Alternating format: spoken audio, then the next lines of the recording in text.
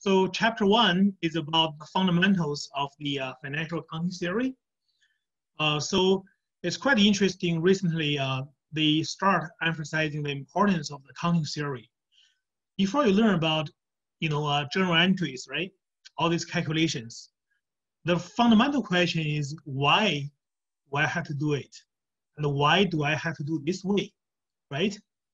So here, you are at the intermediate financial accounting level, you're going to learn about uh, the fundamental accounting theories, why we are doing things in certain ways.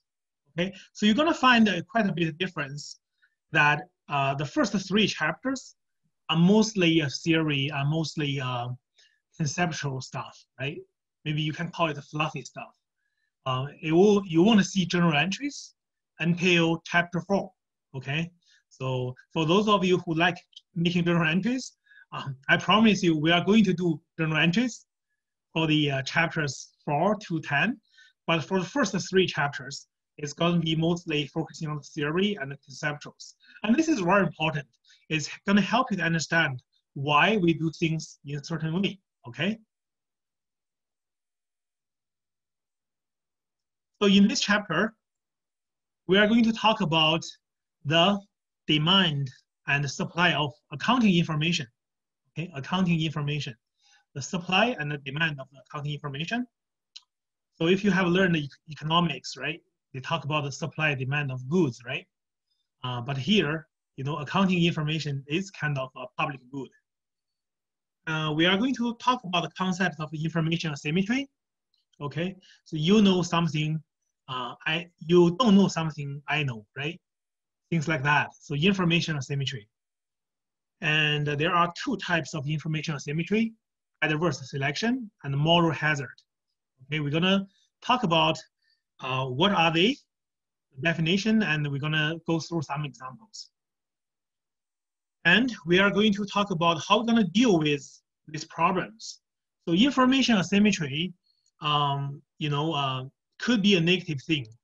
And how the information suppliers can um, deal with this issue, okay, to address the issues of adverse selection and moral hazard. So that will be the focus of this chapter. If we have time, we're going to talk about uh, earnings management, okay? So the earnings numbers reported on the financial reports are not necessarily uh, the true reflections of the economic activities. You know, the managers could exaggerate, right, the income. The managers could downplay the liabilities, right? So for whatever reason, right, they may have. So we, we can talk about the earnings management. Okay? Maybe this is a new concept for you. Okay. Uh, the demand and supply of accounting information. So I start with this NBA basketball player. Uh, he's a star. Um, for those of you are basketball fans, James Harden. Okay, uh, you can see a lot of uh, his uh, uh, informations, birth date, height, um, you know, current team, and the reward he received. Okay, so um, you know he he was the Adidas shoes brand ambassador. So in 2015, Okay, he signed a contract for 14, uh, 14, 13 years. That was 200 million dollars, right? So then your question is, why is you know how how how do people know he worth is worthy of the 200 million dollars, right? Do you think because he has a, a long big beard, right? That that's that's worth probably not, right? So what what is that? Okay, so um, so then it's about his information, right? His performance information, um, all these stats, right? The shooting percentage for the three points, for the field goals, field points. You know, the the NBA they are they have the the, the all these stats. Uh, so then for those uh, for those companies, they would look into this. Uh, who is the star? Who is the uh, you know the, the, the top performers? Who has lots of fans, followers? So they want to sign a contract with them, right? So it's important the NBA supply this information, okay? And those companies, Adidas, would, would look for these informations for them to make an important decision. right? That's a $200 million decision. Uh, so the for accounting is the same idea, right? So accounting um, is actually uh, a production transmissions of information about enterprise, right? So the previous example is about NBA basketball star, but now the information is really about enterprise. Okay, so uh, the uh, the the information uh, provider has to communicate this information those people who need this information. Okay, so uh, who might be the supplier? Who might be the um, the those parties demanding this information? So, for example, okay, so I'm a company. I want to go for the public, right? I need to raise a lot of capitals from investors. Okay, so then, you know, I want to say my company is, you know, the best company on earth. Okay, um, I have to communicate my performance, my accounting information, my earnings, right? And the investor wants to see, and they want to compare companies with companies. Okay, so um, and then they will make a decision which companies they are going to invest. Okay, so you can see that there's the demand for accounting information on the investor side, and for the companies, if they want to raise raise capitals from the investors, if they want other the investors to buy their shares, they have to provide the accounting information, right? So you have learned about earnings, right, from the income statement, uh, earnings per share, right? Those all those informations are important informations for the investors to make decisions. Here is the uh, consolidated balance sheet, right? The statement of financial position for Apple in 2019 and 2018 right? So you can see this is a balance sheet, but it's information, right? It's all information. Um, so it tells, uh, for particularly, uh, they tell us the total asset, right? For the total assets for the uh, Apple in the two years. Uh, so the investor will be able to make a judgment. Okay, they'll be like, okay, in 2018, the uh, in 2018, the let me see here, the the total assets is 365, 725. Okay. And in 2019, right, it's going down, right? This is the information showing us a trend, right? Showing us a trend. Sorry, did you see me uh, using a red red marker to uh, circling the two numbers? Yes. Yes. Okay, good. My, my again, my camera froze, but I'm hoping that my uh, my my um, my screen is okay. Okay, good. So you can see that um, comparison, the trend will tell a lot of things, right? What happened to Apple in 2019, things like that, right? So the supply and demand for information. There are three branches, like basic basic categories. Financial reporting, you are providing information to the external parties. Could be the uh, investors, right? They can buy your shares could be the lenders who is going, going to give you a loan. Uh, could be your employees who is making decisions whether they're gonna uh, gonna be hired by you, right? For the uh, high profile employees, they have to decide which company they're gonna work for, right? Okay, so and uh, for your uh, suppliers, right? Um, you know, how come Walmart has so much power in terms of price negotiations with the suppliers, right? Because the suppliers know um, you know, the, the, the powerful role they have in the market, right? It's all reflected in their sales, right? The volumes of the sales.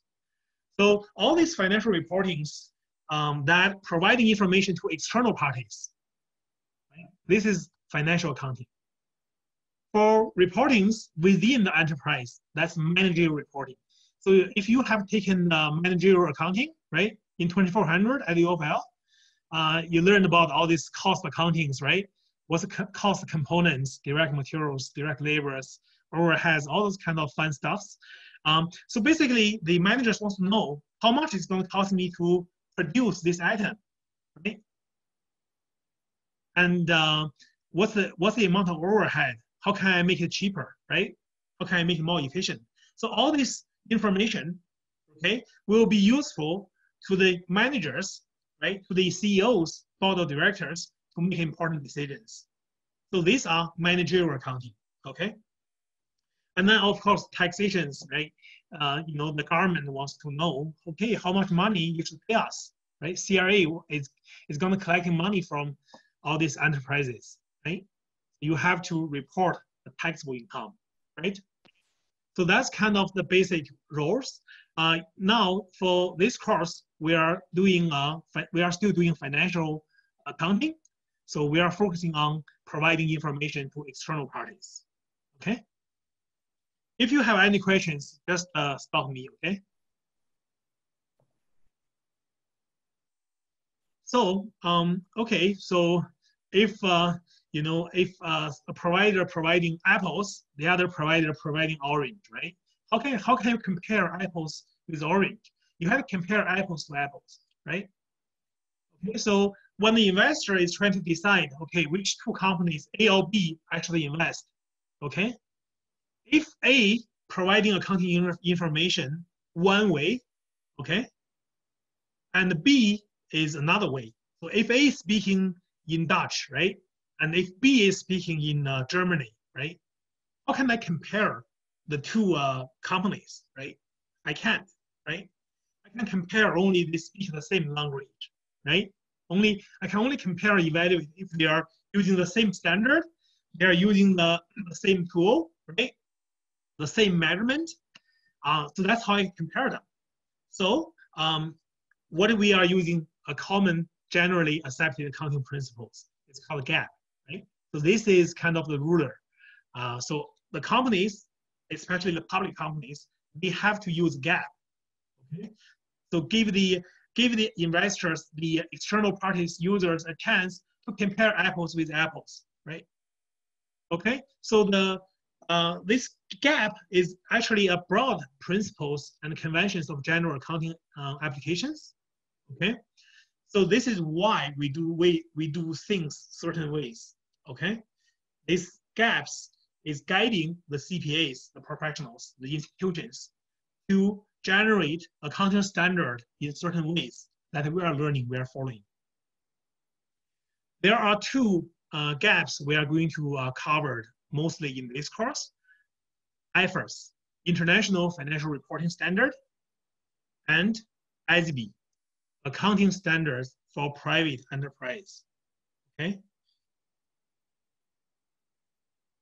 So we are going to cover IFRS, International Financial Reporting Standards, and ASPE, Accounting Standard for Private Enterprises. Sorry, uh, this is Paul. I just have a quick question. Yeah. Um, so if you have a company that follows GAAP and a company that follows IFRS or ASPE, you could you still compare them, or it'd be limited? Um, so you you are not able to compare them directly. So that's why for uh, for companies that who they pick one standard, there's a reason. For example, publicly listed companies, um, they have stocks uh, traded in the stock market. They have to adopt IFRS. Okay, so for investors, they are only comparing these public companies, and these public companies they all use IFRS. Okay. okay. Thanks. But for those uh, private companies, you know, in Canada, I think 80% of our business is based on uh, small and media enterprises that are run by families, right? By uh, entrepreneurs. So they don't have to use IFRS because the amount of users of their information is very limited. So probably only the, the bankers will use their information, right? Because they do not go to the stock market to raise capital, right? So in that way, as a cost of benefit, uh, the IFRS is very costly, right? Uh, but the benefit is um, they are more uh, responsible for millions of users, investors. There's a benefit for going through the costly process of using IFRS, right? Because the information will be used by millions of users. Uh, for those small and medium-sized enterprise companies, um, the, the cost of using IFRS cannot be justified by the users because they may only have one user. Like they only get loans from the bank, right?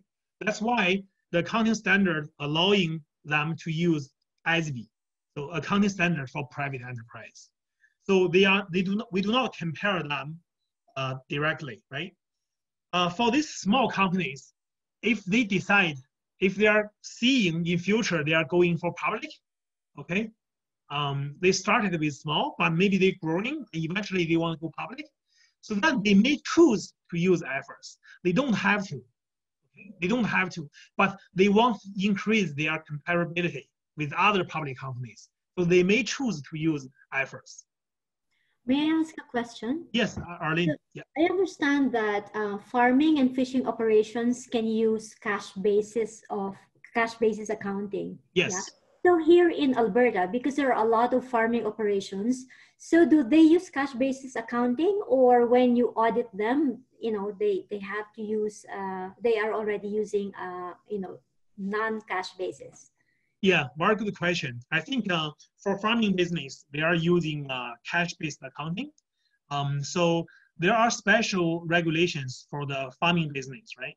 So for example, a lot of practicing CPAs, um, they, if they have never worked on a farming client, they would decline any farmers to use their service because it's uh, more complicated. They have different farmers programs.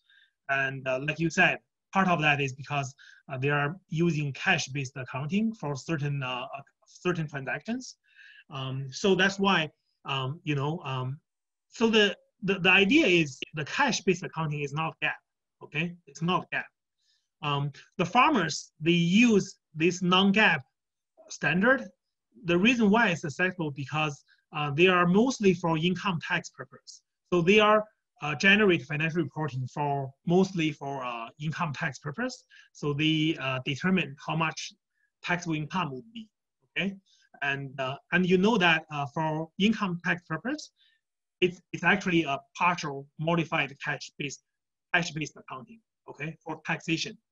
Okay, and um, and also for uh, bank loans. Okay, for the farmers for bank loans, and then um, they are they will be okay. They understand this is a, a cash-based. But the idea is it's really important just to know that IFRS and uh, ASPE, they, they are GAAP, and cash-based accounting is not GAAP, okay? Okay, so at the intermediate level, uh, from uh, 3100 level, we are trying to understand why, right? We are trying to ask a deeper question, why?